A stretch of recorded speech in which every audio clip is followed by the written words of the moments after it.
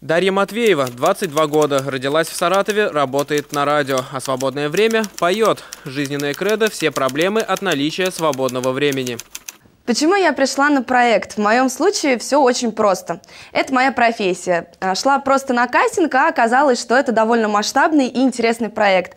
За первую неделю поняла, что ввязалась в целую телеисторию, но э, это оказалось даже лучше и полезнее, чем я планировала. Первое задание для меня не было шоком, удивили скорее люди, с которыми я общалась, но вы это сами все увидите. Что жду от проекта, я отвечу максимально честно и, может быть, банально. Ожидаю самого главного – работы. Именно за этим я и пришла на кастинг. Узнаете, кто стал лучшим участником проекта «Конкуренция» на этой неделе. Смотрите по пятницам в 19.00 информационную программу «Новости 24 Саратов». Идите сюда, чтобы вас пока не... Да вы тут стойте! У вас какая-то неразрывная связь. Проект «Конкуренция» смотрите по будням в 7 утра и 19 часов вечера.